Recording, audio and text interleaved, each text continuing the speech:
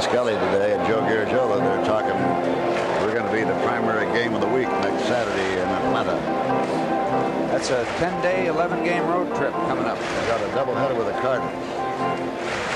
And then on Tuesday, it would be Jose De Leon and Jeff Russell. 3-0. 4-0. It would be nice if we was uh, doing those games and on the road. First walk by Ken Dayley. And now Biff wants to talk to him. As Brian Harper stands in, Brian flied out to, to right field and hit a double inside the third base bag last time up. We ever get it squared away, Bob? Is it flied out or flew out? I don't care. You want to ask some teacher that isn't on strike, some grammarian to write us, let us know.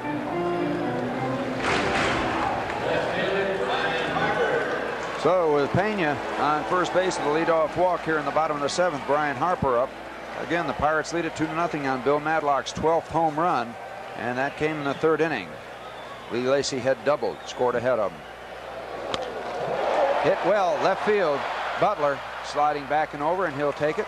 Tony Pena retreating to first base. Brian hit it right on the button, but right at Butler. 1041 at 902. Yep. A strikeout and a fly ball that was handled well in right field. Dale has hit 280 against left-handed pitchers.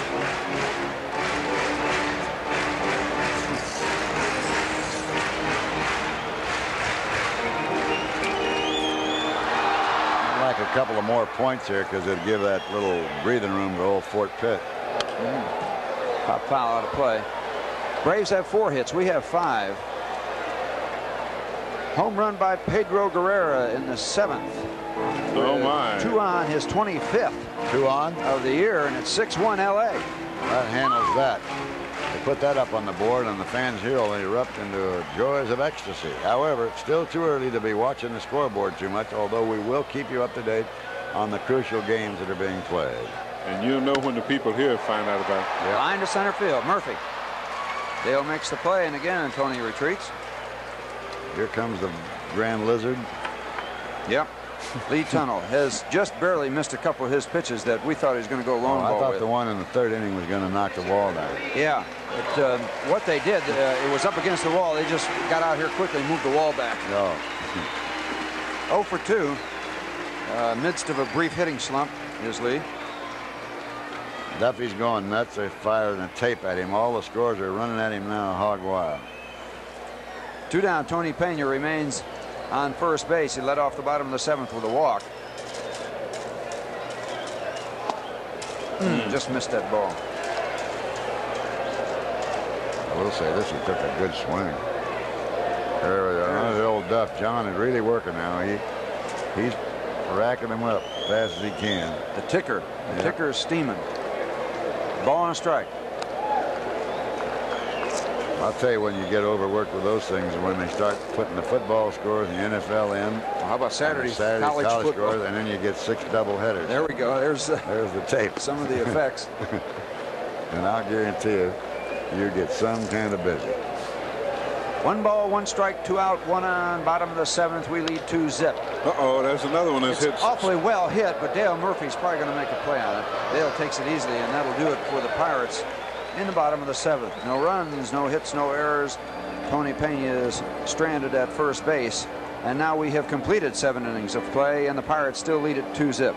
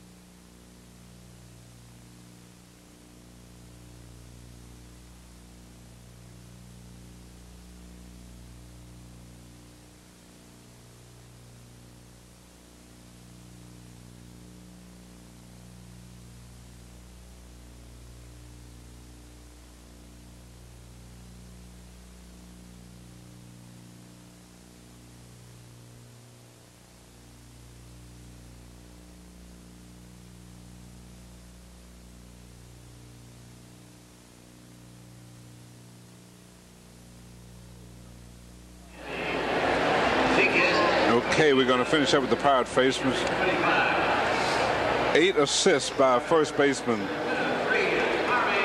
And for our benefit, I'm glad he didn't run in the 1971 series.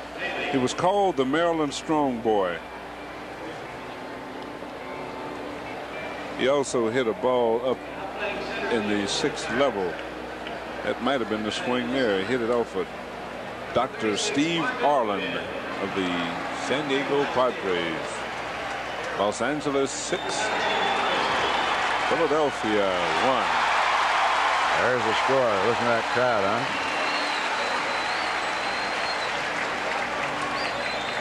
Now there's Marvell Wynn. He's playing in center field. Lee Lacy has moved over to left, so Marvell Wynn replaces Brian Harper in the batting order.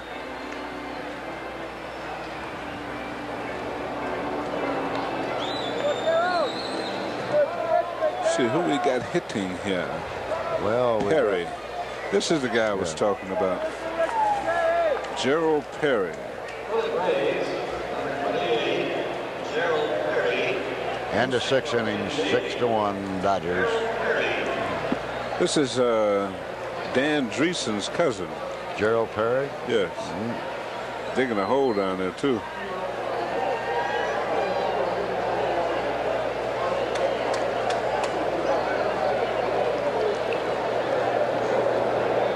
Dayley pitched a pretty good ball game. Yes, he did. Seven innings, two runs, five hits.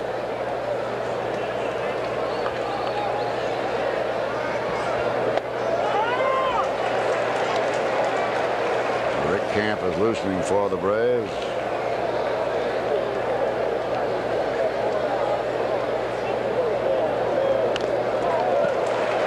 Fouled away. Guante and Rod Scurry. Just in case.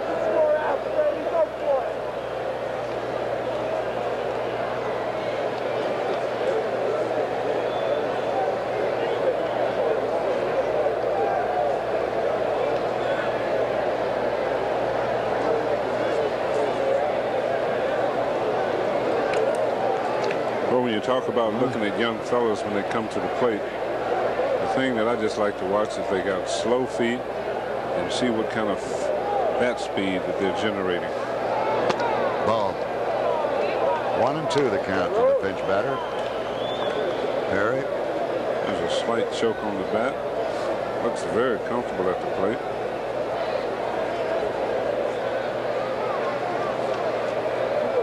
See where he generates his power right there. And he gets a flubbing type of base hit through the middle. And that is number five. Brings up Butler 0 for 3. Here's the swing were talking about, Will. Yes, he stays back on that back foot. Well, that's good leverage there. Everything is straight up and down. Good center of gravity. Didn't like to see him get that base hit, though, but you got to call it like you see it. Butler 0 for 3 now, and choking up on that bat very decisively. We are now really loosening in on earnest. Cecilio Guante and Rod Scurry and Perry back. 2 nothing Pittsburgh. Every man comes up in this spot right here is the tying run at the plate.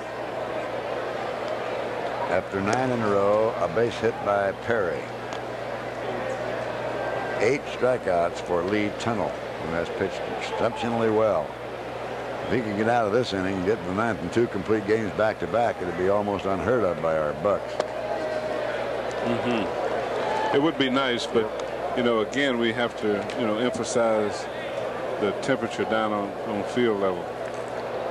We was down there doing the uh, mm-hmm. baseball bunch clinic, and well, it was extremely hot. I was sweating bullets down there, and so was a lot of other people. A uh-huh. lot of people had to sit on the turf, Yeah.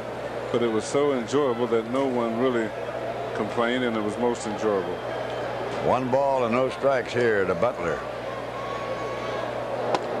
Uh, Pena moved out, got that pitch right where he wanted it, but not quite down enough for the strike zone. For the most part, Lee Tunnell has been doing what he's had to do. Now Madlock has called him over to say something to him. And whatever it was has been passed on to Lee. Well, it's going to be extremely difficult to get a double play. Yep. But you want him to swing the bat. You have a chance of striking him out, maybe fouling out or popping up. You don't want to walk him. Well, he's right on the, the, end of the gangplank right now. Well, you got the top of the order coming yeah. up.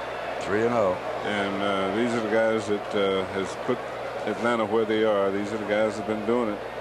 And that's what they want to do, get them up there.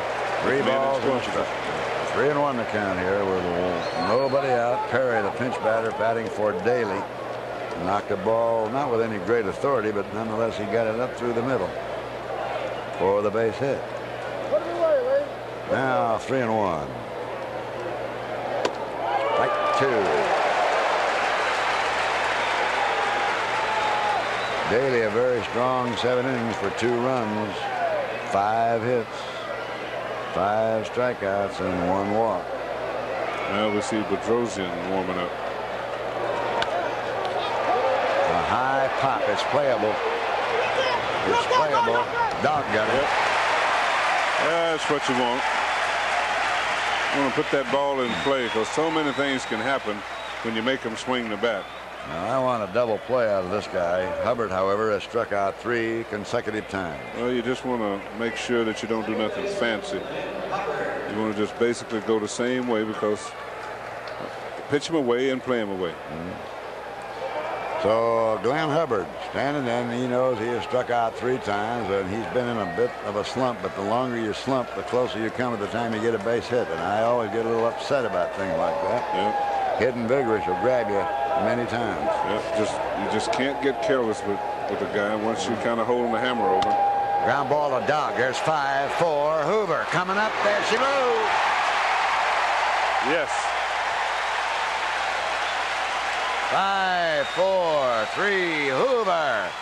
And Joe Torre was just talking about this to you and me as early as yesterday, and we'll return with that story because it's unbelievable what he said to Joe, Willis Stoggs and me last night. It came true again here tonight. Back after this. Please go to the security office. Dennis Jim.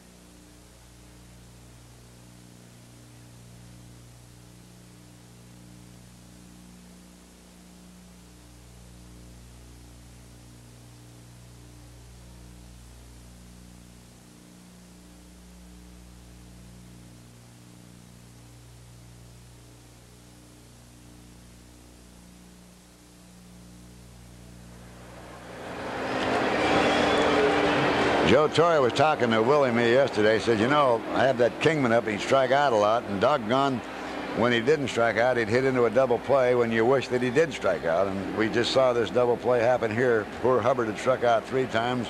And this is where he wanted him to strike out again if he wasn't going to get a hit. Yeah, well, when you're struggling, Robert, at the plate, it seems like every time you, when you do hit a ball, and in Glenn Hubbard's case here, he hits a, a nice routine double play ball. The Bill Madlock gets it off to Morrison and then on the JT. And then sometimes you can just have some real challenging moments. Mm -hmm. But it makes you just want to come out and play that much harder the next day. Here's Rick Camp back to live action. 10 wins, 9 losses, and a foul by Lee Lacy. A double, a single, and a pop-up, and a run scored in three trips. Going to the bottom of the eighth inning, still 6 to 1 Dodgers. You know, the game the Phillies won yesterday over the Dodgers is the first one all year long over L.A. L.A. just put the Phils right in their back pocket. Bet you they had a few people there again tonight, too. I would say it's a sellout. Well, Rick Camp is basically a sinker slider pitcher here. And he's a guy that, you know, he has to keep the ball down to be effective. Every time he gets the ball up and out over the plate, both right-handers and left-handers just unwind on it. Two and one.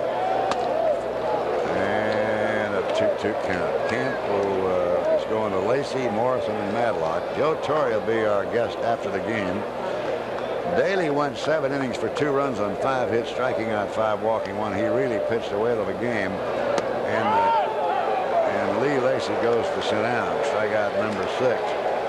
Let me say to you, ladies and gentlemen, in all fairness, the ball that Madlock hit for the home run was not a pitcher's mistake. It was way down low, and he just golfed it out of here. Normally, I don't think he'd hit that one for a home run. Well, I think I what he wrong was, about that? Well, Dayley was just showing everybody Yeah. a lot of breaking balls, Yeah. and it was just a matter of time before he somebody caught up with him. I thought he should was have. about that high off the ground. Yeah. Oh, dog Yeah. stayed with it Yeah, very yeah. well. Yes, he sure did. Yeah. He did everything a hitter's supposed to do. The lower it got, the more he kept Mm-hmm. uh, putting his hands further back away from him and getting that good cocking sensation so that he can unwind on the ball, which he did. That ball got out of here in a hurry. Oh, yes, it did. Here's Bubbles. Morrison 0-4-3, flied to right and struck out twice. This is the first time that he's been really manhandled at home plate. He's been really hitting a ton. Right now he's 0 for 3 and down to one strike. Two to nothing. Pittsburgh, eighth inning. Dodgers know that score, sitting right up there, and now hoping that uh, we can continue to master the Atlanta club and they can pick up another game and move to within one half game of the National League West. Well, of tell me something. Yeah.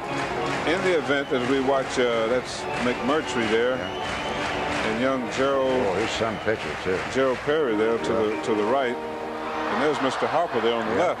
Yeah. Oh, the seat coolers. Uh-huh. All right, one and two. Fly ball left field, Butler. Tell you what, Will, what do you want me to tell you? Do you remember what you were going to say? I was just going to kind of talk about these uh, these these clubs right now.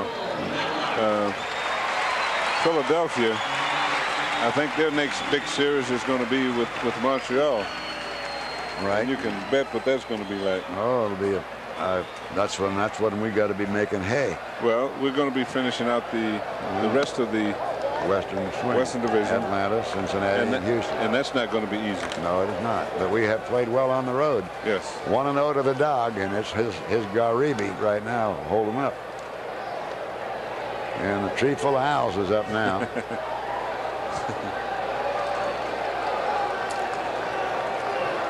Linda's favorite hubby, and the only hubby, foul away. I would hope so. Yeah, two and one. Lee uh, Kent Jacoby has been very active in a lot of charitable activities. He runs that great golf tournament, you know, for Myasthenia Gravis. He does a lot of things in and around the community, even if he were, heaven forbid, not to stay here after this option year, he would still live here. But if you don't get involved in those things, that's something they'll talk about, Harding Peterson and Kent and all, when the season is over. One, uh, two down, three balls and a strike to the dog. Rick Camp, uh, chopping foul, the third. Dog runs it out just in case. So the count is run full. Pittsburgh two, and we scored those two back in the third when with one out, Lee Lacy hit a ropo to center field over the head of Murphy for the double. There was no way Murphy was going to catch it. In fact, I thought the way he fielded the ball, he might have had a chance of throwing Lacy out at second. But Lacy's speed got him in there. And Sure then did. Then with the two out, the dog went down into the dirt and hit a nine iron shot. 9,000 miles up out of the park for home run number 12, and that's it. With 3-2 wor- pitch. With that worth bat. Yep. And boom. The inning is over. So we have to get three more outs. Let's hope we can do it in regulation without any fiddling around as we go to the bottom half of the, right at the top half of the ninth. Chambliss, Murphy, Washington, 2-0 Pittsburgh.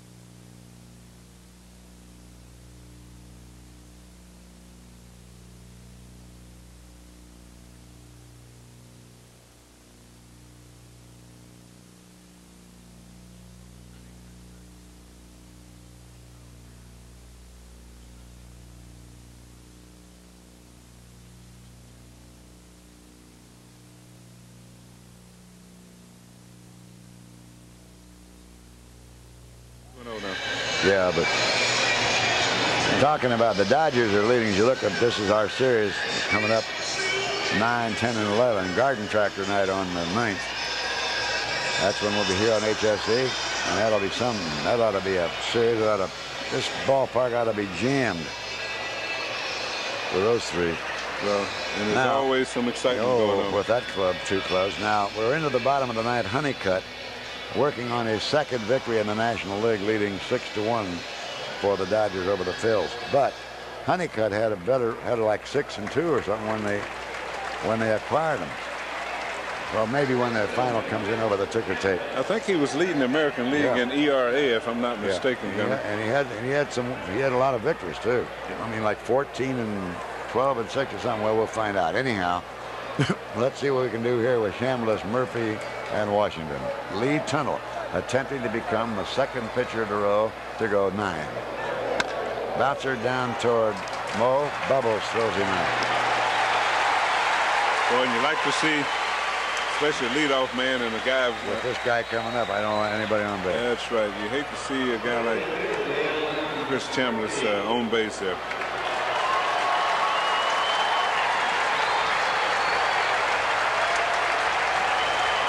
Now, if we can win this game, we hold even with the Phils. In fact, we pick up a game on the Phils and have first place in the East all to ourselves. Meanwhile, the Dodgers will then have closed within one half game of Atlanta as Murphy took a home run whack there, didn't he? Yeah, Struck out, fly to right, and the line descended. Yeah, and uh, Tunnell still had good movement on his fastball as we saw it constantly sinking out of the strike zone. Joe Torre will be our guest. Might not be too happy if we can keep it this way, but he'll be aboard, so don't go away. And he's a pro. Yep, 0 and 1. 1 and 1. Remember, they took a heck of a lot of ribbies and home runs out of their lineup when they lost Horner.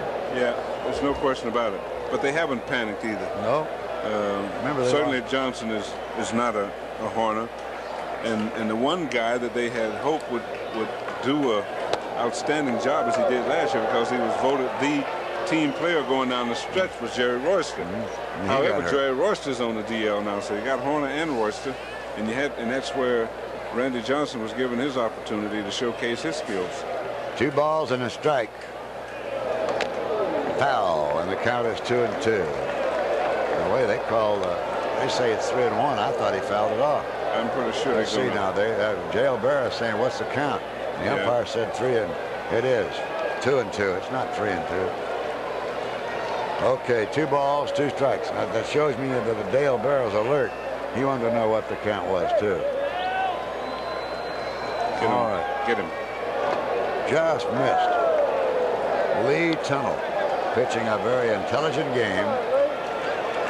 As you see that graphic there that all the fans here are looking at, the Phillies are still batting. Tunnell, three and two to Murphy. Tony Pena wanted that one. That is the second one. Well, and that was not a bad pitch. I don't know how the Dickens Murphy laid off it. I'll tell you something, that pitch looked to me like it had the outside corner of the plate. Pena's talking with him about it. Yeah.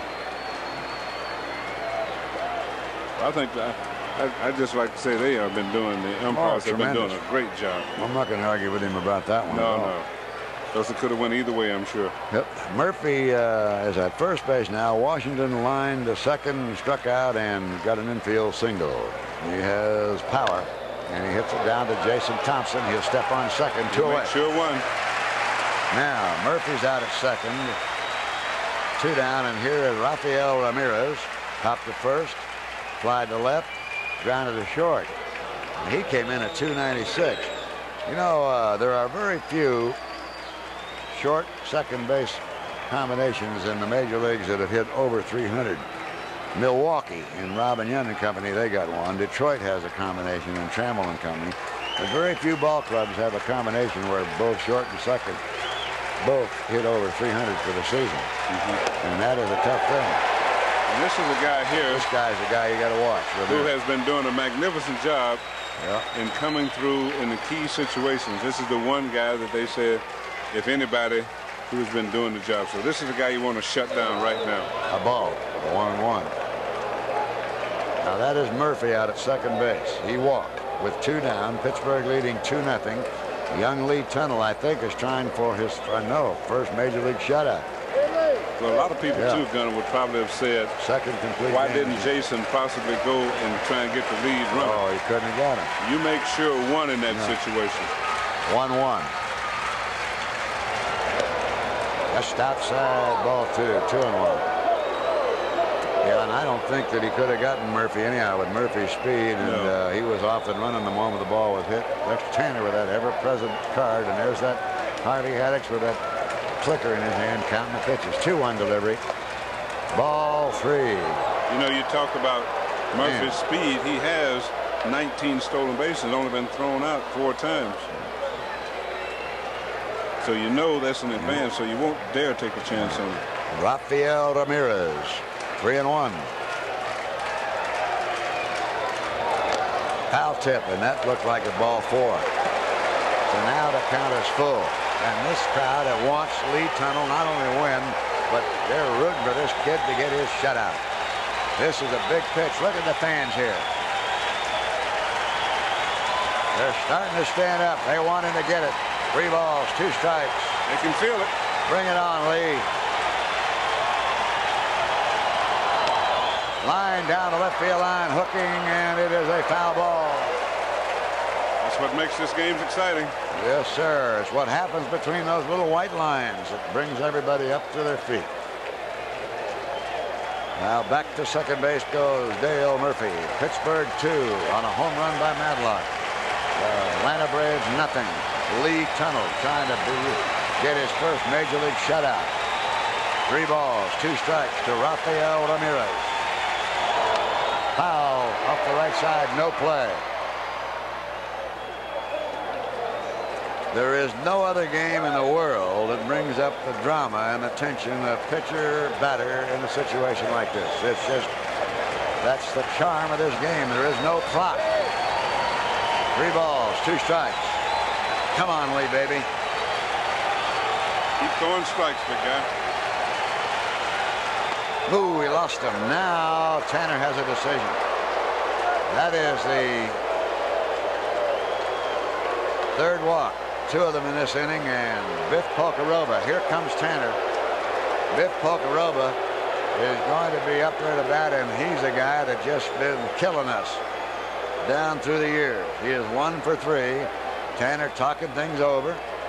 I don't think Chuck is out there to I- no, I take him out. I don't think so either. I think they're just talk a little bit about Yeah. things. He's staying right with him. Boy, he's something. He is something. One fine. in a million. Yep.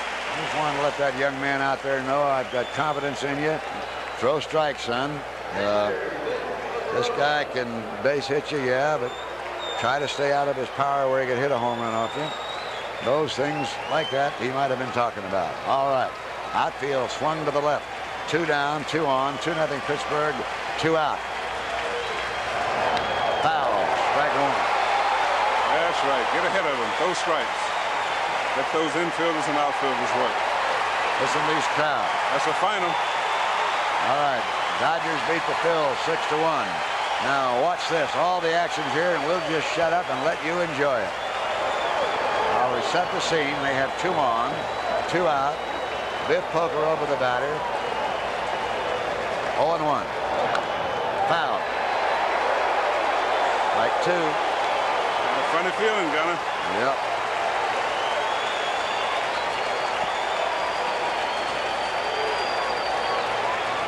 Dave DeManna popping that cool camera around. You all watch it. Here it is.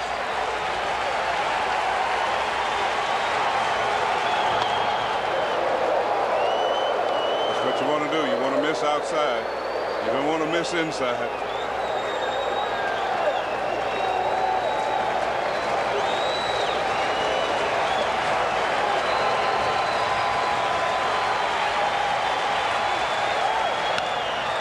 Fly ball, center field. Marvell win. We got him.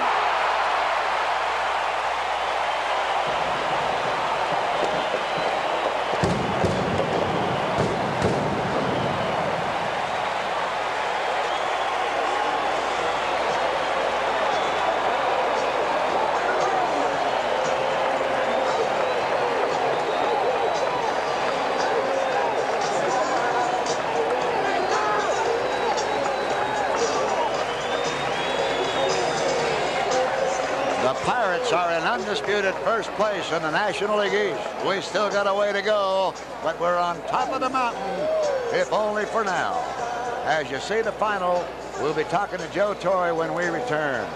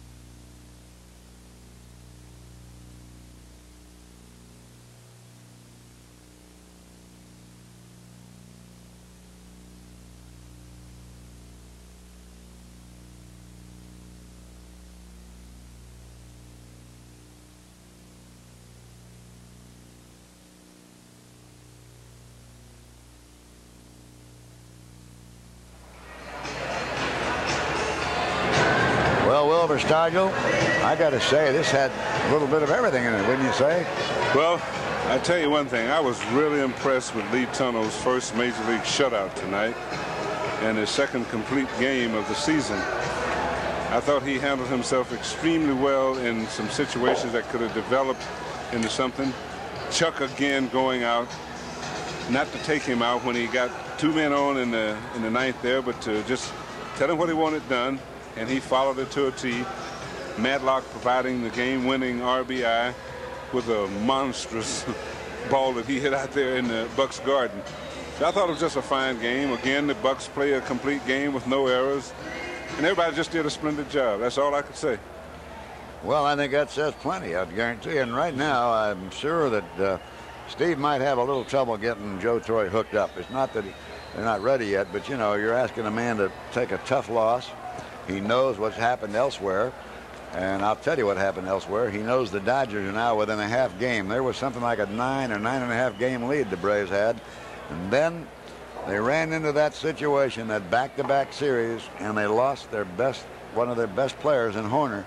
And then the man that, that, that Will talked about in Royster, and just punch out about 100 ribbies between those two guys and 25, 30 home runs, and you take that out of your lineup, and I don't care what you say, as Will will guarantee you, you're hurting, and all of a sudden now it's a it's a it's a cat race. It's That's back right. to a half game. And anytime you lose some of your key individuals that you're depending on so heavily, and and those circumstances uh, prevail, you you, Yep. you you gotta worry about things like that. Well, we'll go up some scores here. Um, All right, he's going to come out with Harvey Haddix because uh, Joe is I- probably having a meeting. I would think, and he, uh, and I, I know that he was, he's not the kind of guy. I bet he would say, Steve, would you mind if tonight uh, you switch off me? I'll go on tomorrow or something, but please, just not tonight. I've been shut out and beaten, and uh, I'd prefer if you don't mind. And naturally, we're gonna we'll give in to something like that. That's a very reasonable request. There's no question about it, Gunn. It was probably a case where he feels that he needs to talk to his players after this particular ball game. There's still a half a game up. There's really no reason. I think because of Joe Torre being the manager of the Atlanta Braves in 1982 has to be the big reason that they did so well. Because it's virtually impossible for a, a major league ball club to be a strong contender as Atlanta Braves were all last year, to win it without a left-handed pitcher, even in the bullpen or in the starting rotation. So when you look around, you have to say Joe Torre, uh, Bob Gibson, and Dal Maxvill had to be tremendously responsible for it. Oh, there's no question about that. And incidentally, the Dodgers are only 21 games. The Braves are only 21 over 500. The Dodgers are 20 over 500, and there's a half game separating them. We'll be back to talk to Harvey Haddixon about that great pitching. And tomorrow, I think we just got to absolutely have Lee Tunnell on the air with us. And we'll get into that. But right now, before we join Harvey Haddix, let's go back to the studio.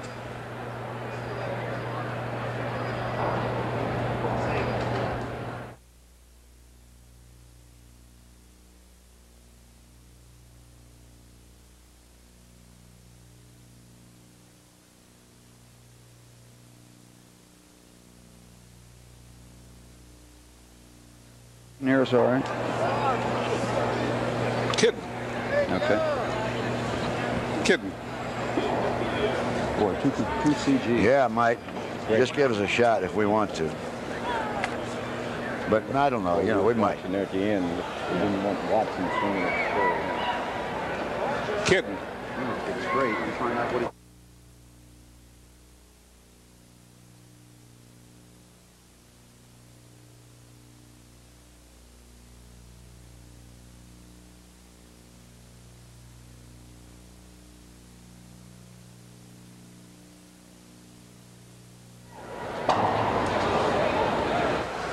Well, somebody down there should know something about pitching. Uh, Steve Blassett was a pitcher, and the guy that's our pitching coach through the greatest games ever been fired up in the history of the game of baseball, 12 perfect innings, Harvey Haddix. So why don't we go down there and you guys talk about it, uh, what kind of a game we saw, and whatever you want to talk about. Okay, thank you, Bob and Harvey. Appreciate you joining us. And uh, understandable situation. Joe Torre was going to be with us, and I'm sure we'll get a chance to talk to Joe. It's a difficult ball game. They're right in the middle of things too. But uh, Harvey, the story tonight is is uh, Lee Tunnell, and he just did a whale of a job. Our second complete game, you got to feel awfully proud of him. I sure do. Uh, Lee was outstanding tonight. The thing about him, he got his curveball over. He got his changeup. He, he threw a lot of off-speed curveballs to get the left-handed hitters out tonight. He, he just threw good stuff, and he had good control. Now, was I getting the right impression upstairs? It looked to me like he was throwing either a little cut fastball or a slider out away to right-hand hitters, and he was right on the money with it, using about the uh, the outside third of the plate. Yes, he throws a cut fastball. Well, uh, we call it a slider, but it's more like a cut fastball of, of his pitch.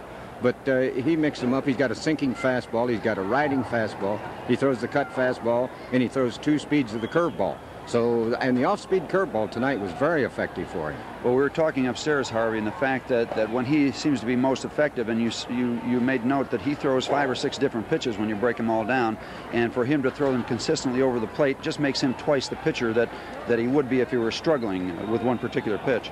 Yeah, he got a couple of guys tonight. I know he was three and two on them, uh, and he changed the speed on the curveball on them and got them, and uh, that's a sign of a good pitcher. Anytime you can change that speed, so when you're three and two on a guy, you can pitch.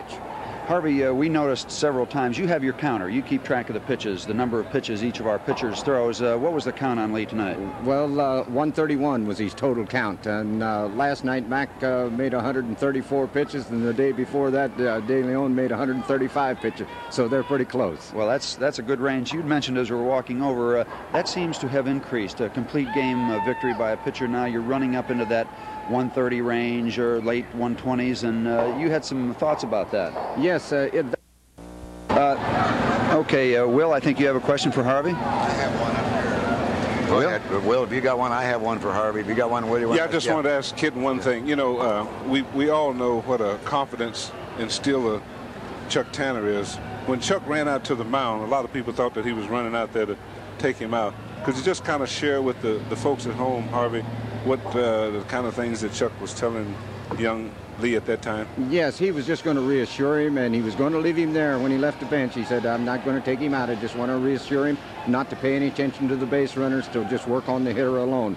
Uh, they had Bob Watson and, and um, another one sitting over here on the bench who could hit the ball out of the ballpark on you. So this was one thing we were concerned about.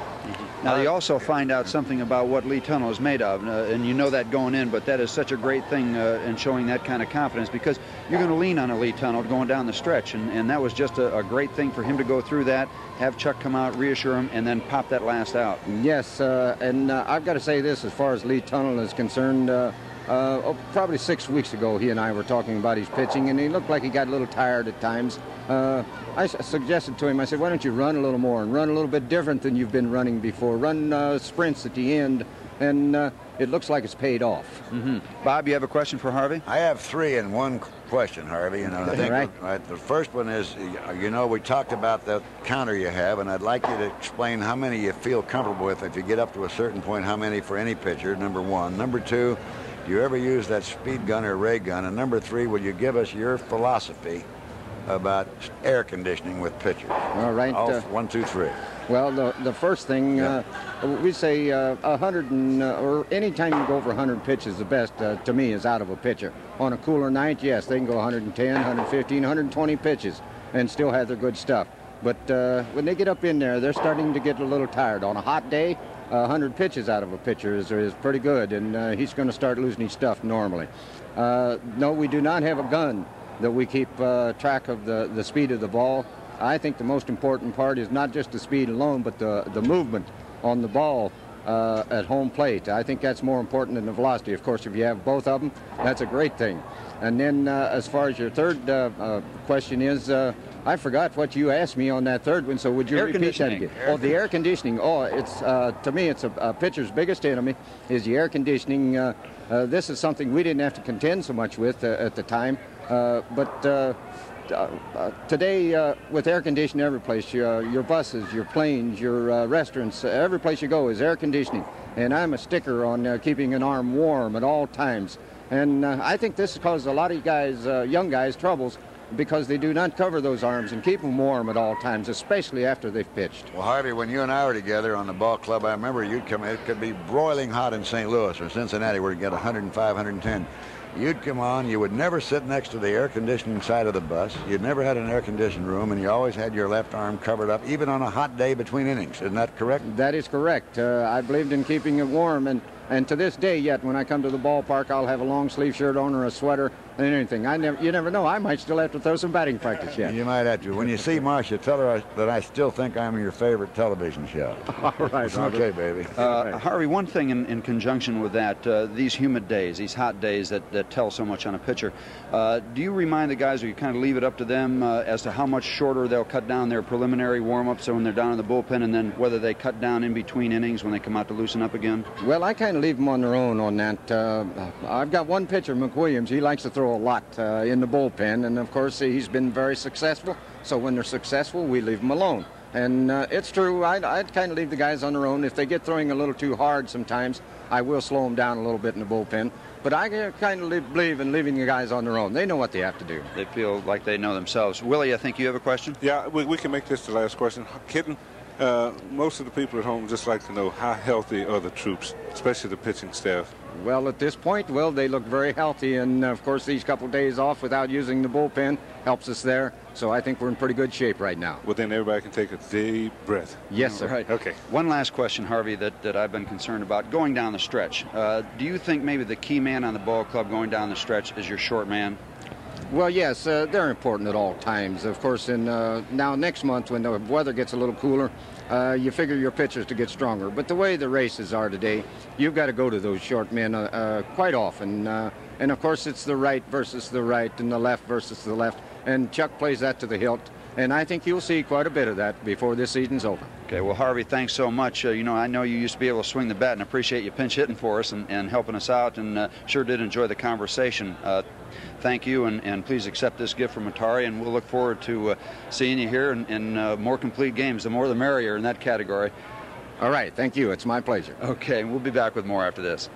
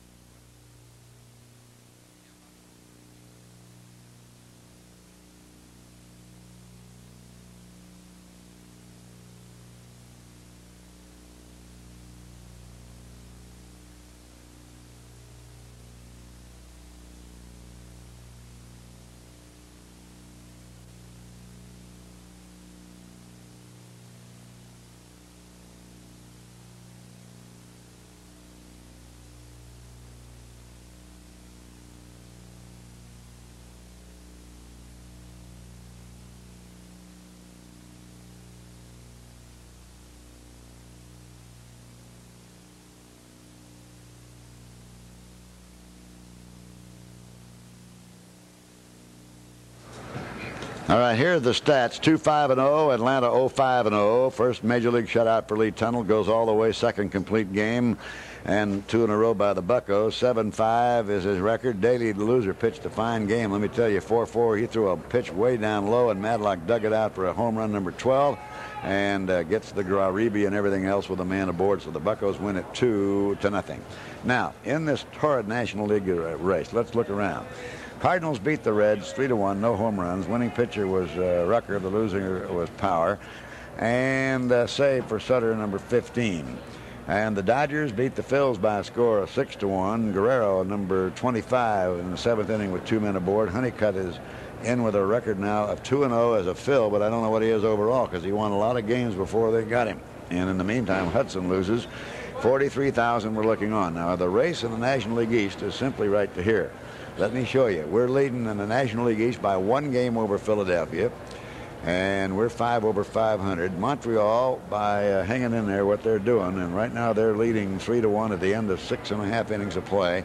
They are two and a half back if they if they win. They stay right there, and the Cardinals, by winning, stay two and a half back also, at dead even at 563-63. So that takes care of the of the race there. San Francisco, as you see with New York, it's a uh, four to two ball game. in New York and Chicago four to one over Houston. Now over in the American League, we'll get you up to date on those uh, situations.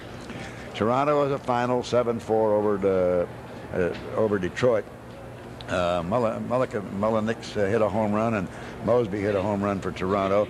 Uh, Brookens and uh, Wilson and Trammell uh, for Detroit in a losing cause. Milwaukee and Oakland, it was 5 to 2 in favor of Oakland. That'll change that American League East around a little bit. Meanwhile, Chicago 2, Boston 1. That's the final. Minnesota, Baltimore. It's 5 to 2 at the end of 7.5. Baltimore, big game there. If the Orioles can win it, they can go into first place and stay there a little hefty. Meanwhile, Kansas City is leading 1 nothing into 4 uh, with Texas, and uh, White hit a home run for Kansas City, New York, California later, Cleveland, Seattle later. Now, here's quickly the, the standings. In the American League West, the White Sox are 71-57 if it stays that way, and they'll be six and a half games in front if Kansas City wins. If not, they'll go back to seven and a half. Baltimore, by losing uh, their ball game, uh, no, by winning their game with Minnesota, can stay right up on top uh, by a game and a half over Milwaukee, who lost. So that's about the way the race is, my friends, all over the league. And tomorrow night, we're coming right back here with you, tomorrow afternoon, I should say. So let me just say right now, this winds up Pirate Baseball. The executive producer of Home Sports Entertainment, Bernie Seabrooks. Coverage of tonight's game was produced and directed by David DeMana. Sports consultant for Warner Communications, Allie Sherman.